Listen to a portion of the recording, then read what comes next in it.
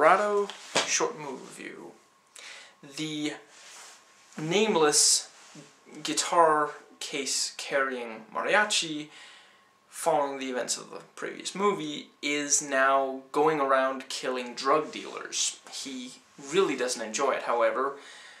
He does it as part of his revenge, so he decides that this current one, Bucho, will be the last one. Bucho sends people out looking for him. El Mariachi finds the sultry Salma Hayek along the way, and there's this mysterious man played by Danny Trejo who's going around, you never hear him say anything, and he's always got a knife in his hand. This is a style over substance action flick that gets a lot out of Rodriguez's technical prowess in the filmmaking field, but also very much suffers from his,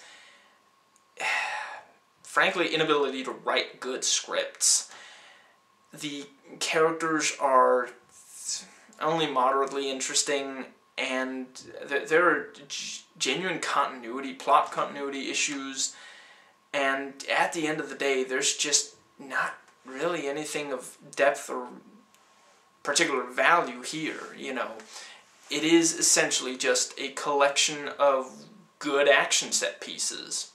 The action is great, however. Very well choreographed, a kind of modern spaghetti western with, you know, slingshotting the pistols into El Mariachi's hands, taxi driver style, in place of very quickly unholstering and drawing a gun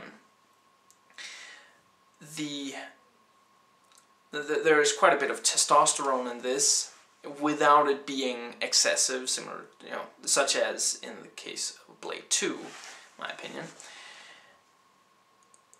But yeah, in general, just a fun, funny action flick, but in the end, quite forgettable.